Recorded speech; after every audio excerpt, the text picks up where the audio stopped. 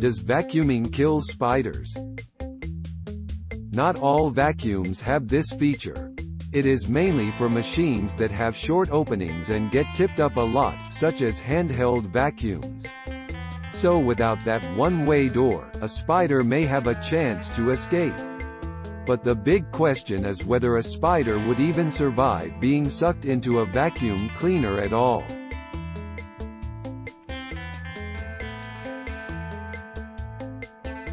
Thanks for watching. Please subscribe.